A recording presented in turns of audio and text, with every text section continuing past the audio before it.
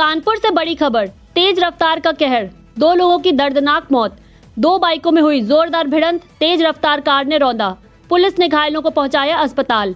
शादी में शामिल होने जहानाबाद जा रहा था बाइक सवार। क्लिनिक से वापस आ रहा था दूसरा बाइक सवार। घाटमपुर कोतवाली क्षेत्र के परास के पास की घटना।